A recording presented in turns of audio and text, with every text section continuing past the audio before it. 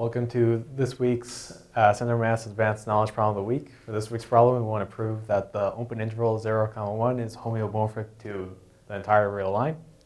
To do this, we need a bijective continuous function from 0, 1 going to r, and, and also continuous inverse going from r to 0, 1. Uh, so we're just going to consider the function f of x equals tangent pi x minus pi over 2. It kind of looks like this. Uh, as x goes to 0, this approaches uh, minus pi over 2, and tangent minus pi over 2. It kind of approaches negative infinity. As x goes to 1, this approaches pi over 2. That goes all the way to infinity. So that establishes that this will, in fact, be surjective any point at r. We can find some x so, so that the image of x is at point r. Uh, this is injective. If you take the derivative of this, you'll get pi over cosine squared pi x minus pi over 2. That's, uh, yeah, that's a positive over a square. And in 0, 1, that square is always going to be positive. It's always greater than 0.